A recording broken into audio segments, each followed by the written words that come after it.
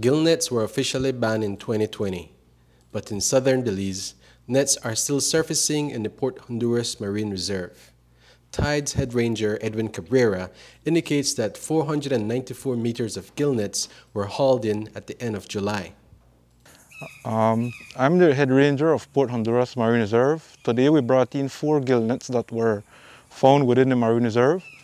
Uh, one of the gillnets was actually confiscated from some fishers that were claiming uh, they were using the net for catching bait, which is an undersized mesh. So it was confiscated from the fisher. The gill net that uh, was confiscated from the fishers within the reserve was a, a gill net measuring 74 meters long.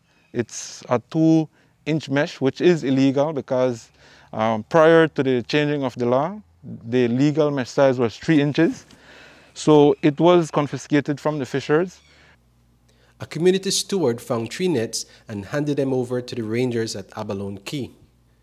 Good community stewards are needed to report illegal activity and utilize good fishing practices.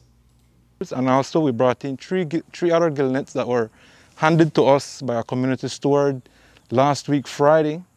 Uh, he brought it to, to the ranger station. He reported that the gill nets are totally submerged underwater, claiming that they are used for uh, extracting lobster from within the reserve. So um, just to bring awareness that uh, the, the law has been passed that the gill nets are banned within Belize.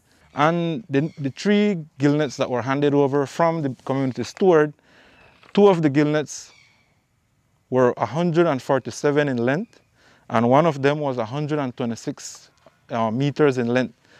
As we continue to do uh, our patrols within the, the, reserve, we just want to ensure that the, the fishers that are using the marine reserve um, update themselves with the changes, changes of the regulations.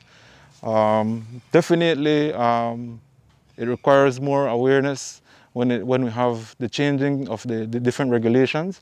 But um, we are out 24-7 within the reserve.